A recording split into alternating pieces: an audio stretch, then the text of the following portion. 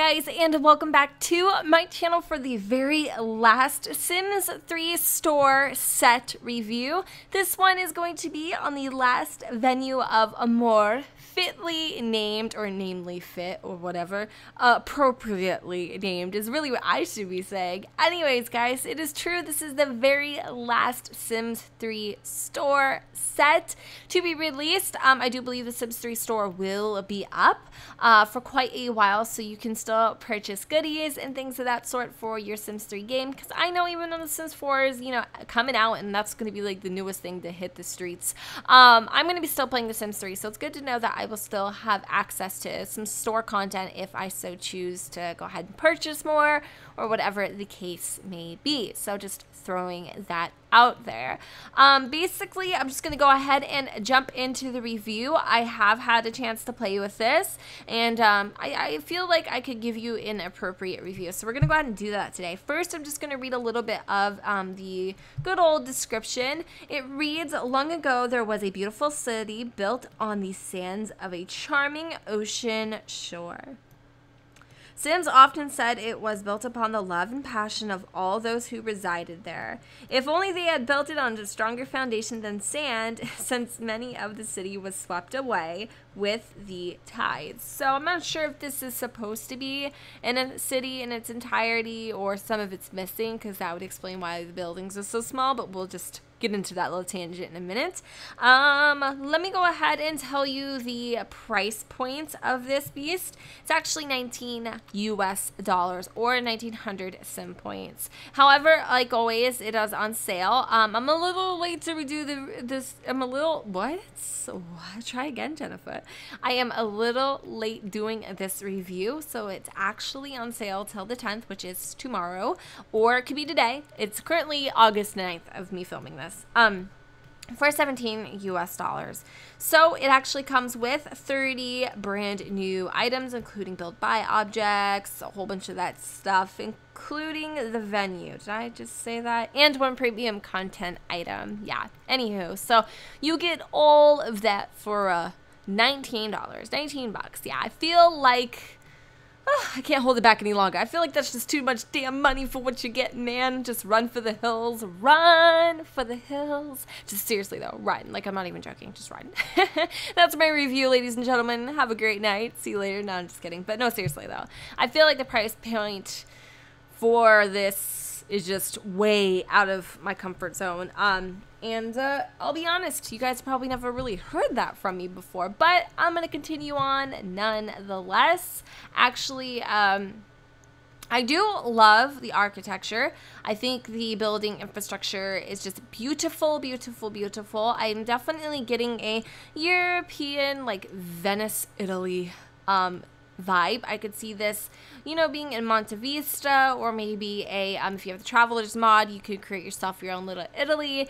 And you know what, you can pick apart this set and use a lot of the building objects for gorgeous, gorgeous, gorgeous homes galleries, you know, cafe shops, whatever you really want to do, you could definitely even, you could just kind of gut this whole entire city, I guess you could say, and create it maybe like a shopping district or maybe, um, you know, some historical place to visit when you're off on your vacations or just a whole bunch of things. You could definitely do a lot with the venue, but keyword, you're going to have to do a lot with the venue. So more like key sentence. So anyways, the one thing I love the absolute most before I show you guys um, more of the inside and the interior of this place.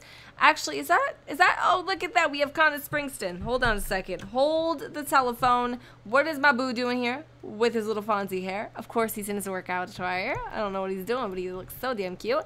Um, there's one spot that's definitely my favorite in, in this whole entire gig here, but I'll show you that in just a second. This is just the uh, canals. Yep, pretty much.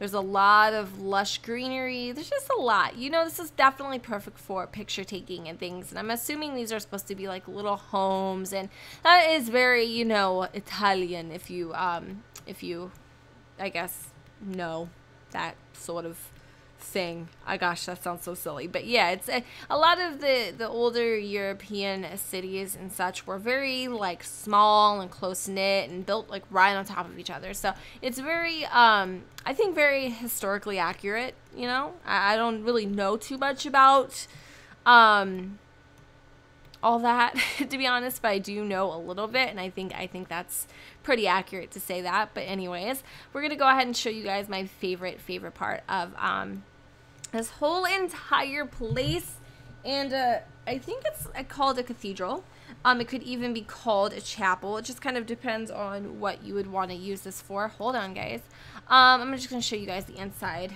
through the through the um, tab options here. So this is actually the front door, and I could foresee this being a um, a chapel to get married in. I could I could definitely see that being um, a good way to use this.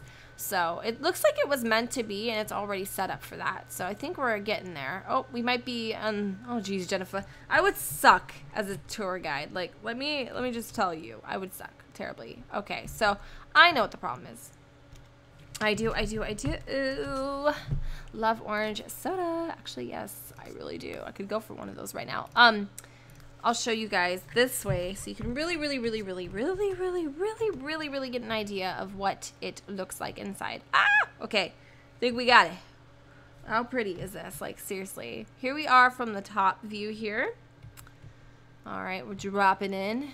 And just look at how absolutely beautiful the inside of this chapel slash cathedral is. Like, really, you guys? I could see some, um candles on a stick, those lamp thingy majiggers. I could definitely see this be played up as a freaking cathedral. Like I would have loved just to see this like done up as like a, a chapel or something to get married in. But like I am in love with the interior of this building. Like just see how like detailed it is in the inside. It's kind of crazy to me. It's really really really really cool. I love the lions. I just I just love everything about it. Um and to be 100% honest, that's definitely my favorite um, favorite building in this place. But let me go ahead and finish up showing you guys around. First layer is nothing but a whole bunch of roofs.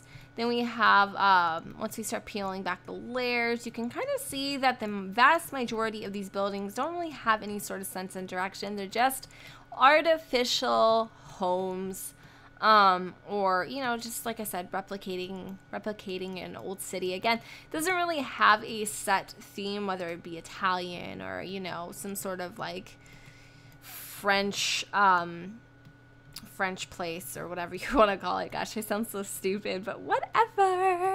Um, but yeah, it just doesn't really have any sort of sense of direction. It's very, very uh, just kind of whatever. But I, I sense European, definitely. I mean, my, my, my senses are tingling, and, and then that's what I think. But uh, again, it could be whatever you want it to be. I just think it is actually a really, really, really beautiful venue. Um, don't really like how it's mostly for show and has actually no function. Like I said again and again and again, that is my only um, sense of direction of what I would use this for then other than picture taking or storytelling or something like that. Um, because a lot of you do do a lot of storytelling. So this might be right up your alley and not so much mine. You know everybody has a different use for what they use this for and not everybody's gonna see the value in it um, the same way i do or don't or whoever else. But that's pretty much it. I mean like i could really get in there and show you guys each little thing but um, it's pretty much all the same. They're like little individual homes that kind of connect to each other and create like this um, cityscape kind of. Yeah, so that's pretty much it for the um, the venue. So, yep, that's just all I really have to show in that aspect. I definitely will see myself using the build mode objects um, for various like you know things when I come to house building and such. And I think I've even used them already. But uh, the main the main star of the show here is definitely this little I think it's called a gondola. I think it's called. I, have I've said it like 500 times. I'm like gondola, gondola. I think it's called a gondola. And uh, you know, basically, you just you hop on this beast with the, your, your loved one. What I do love, and I just recently found out, is you can actually change the direction of the track. So you get like a new ride every time you do it. I think there's like three variations, and uh, the ride's actually like three hours long. So it's and it's slow. Let me just tell you, it's slow and long. So eh, But this is the premium content item that comes with this set. So your initial options are to go ahead and test the canal, give ride to, get ride with, and ride the gondola, like we said 500 times. There is a moodlet that comes with this and is called a Wonderful Ride. Ah, what a wonderful ride. And it basically lasts two hours and you earn that moodlet upon completion of the entire ride, which is painful and I think you rightfully so earn this little moodlet. And you get like a little 25 point boost. Yay. what I do like that I haven't seen in um, previous sets where you needed another sim to, you know, interact with the premium content item or really get the full gist of things and you didn't have to be that sim is that there are sims that will give you your ride basically if you so choose. Like if you say you wanted to ride with your significant other you can do that. And a random sim will be generated or whatever sim that is available on the lot will randomly go ahead and push you around the canal. Oh what a, what a great awesome new feature. Like finally i'm glad they finally got that in there. The last leg last venue of the entire series of the Sims 3 store sets. Like, I'm really actually, I do appreciate that. I do like that. I just feel like it's a little too late. But nonetheless, we're going to go ahead and get a ride with Titus Grant, our beautiful um, demo Sims here. We have Mr. Titus.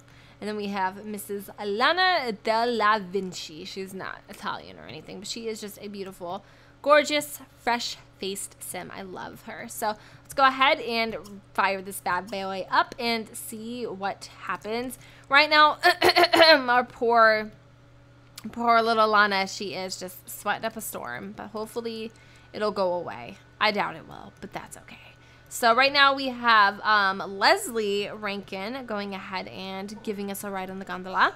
You're going to automatically notice the Sims pointing at different things. It's definitely more of a sightseeing um, adventure more than anything else. Um, I don't know if mine's broken, but my um, sim tracker doesn't work on this specific ride, but I think it's just broken in general. So I don't think it has anything to do with it. But it's kind of cute to see them getting pushed around. And again, this wouldn't be something I would put in my hometown.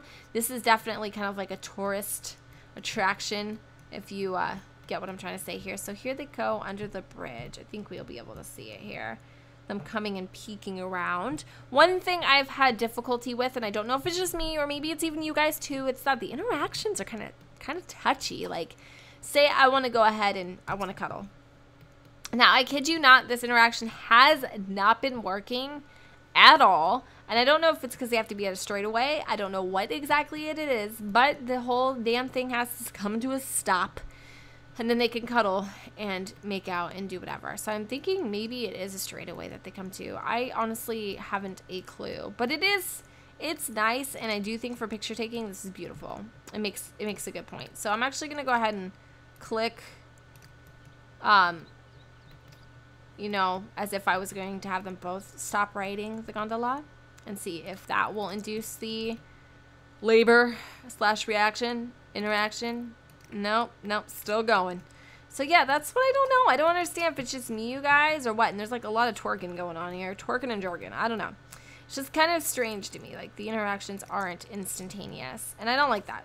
I really don't like that at all. So at some point, they should start working. Oh, nope. Actually, he ended up getting booted out. So just so we're clear, um, is he back at the boat now? just so we are, oh, look, just so we're clear, that's the cuddling interaction, and you're not missing anything. It is pretty much what you would, uh, you would see on, on a couch or something. It's, it's very, um, similar to that. And I do know that your Sims can actually woohoo as well in the gondola, but for some strange reason, it's not working for my Sims at all. So I don't know. I don't know what's going on. See how long that took? Like, I don't like that. I really don't like it, actually, like at all.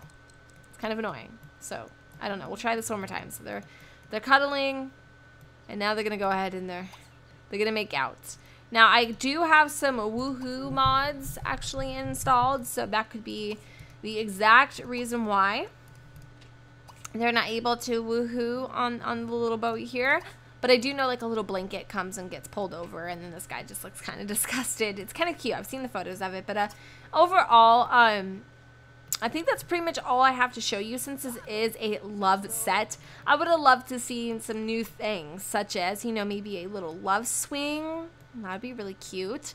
Or they could hug and kiss and make out and talk and swing, you know, to and from and more love thingies, more stuff to do. Or like even maybe another variation of this boat, like a swan. Like that would have been cool. You know? Just more different love pertained items. Maybe some cute, you know, summer dresses for the girls, some nice outfits for the guys, things that you would maybe wear on a date, those kind of things. You know, some cute hairstyles or accessories. Nada. Whole lot of nada. All you got are these basically props and this boat. That doesn't work. For me, it doesn't work. I don't know about for you. I'm going to give you an honest opinion, and I'm probably, I'm not trying to hurt anybody's feelings. And if you disagree with me, that's totally okay. This is probably one of, if not one of the most, if not the worst set I have purchased from the Sims 3 store. And I feel like there was just so much more potential that they could have done with this. And I honestly feel like maybe they were in a hurry to get the set out. Maybe they really did try. I really don't know. I know it takes a lot of work and effort, and I'm not trying to knock anybody down to the ground. But for me, this is definitely a miss. I would not purchase this again if it wasn't for review purposes. And I just don't like it. I really don't. I don't feel like it's worth the money, and I feel like it's kind of um we're not getting our true value here. You're spending $20. Like, for some people, that's like two hours or more of work. Yeah, two hours or more of work, like if you make minimum wage or whatever. So the value doesn't really equal equal enough to me. I just don't foresee it being worth the price. And it's kind of a shame. It kind of sucks, but it's just the way the cookie crumbles. So I really hope in The Sims 4 that the Sims um, 3 or Sims 4 store um, items are a little more valuable and worth their price because I don't mind spending twenty dollars as long as I'm gonna get what I what I paid for. Do you know what I mean? Like I don't know if you guys are with me or against me on that, but I just don't feel foresee the the value in this set at all. I really don't, and I'm sorry to say it. I was expecting a hell of a lot more, and not only because it was the last set, but because it was the last set, but because just in general that's such a hefty price tag, and all you really get is a bunch of props and a boat that doesn't work. So if you guys are having the same experience, please let me know in the comments down below. Let me know your feedback of the set in general. Will you be picking this up? Will you be letting this one go? Is it a hit or a miss? Is it gold? Let me know in the comments down below what you think about the last venue of Amor or maybe what you would have loved to see incorporated in this set. I totally would love to see your guys' feedback in the comments down below. Again, like always, don't forget to go ahead and comment, rate, and subscribe. Let me know what you all think in the comments down below. And I will see you all in my next video. Bye, guys.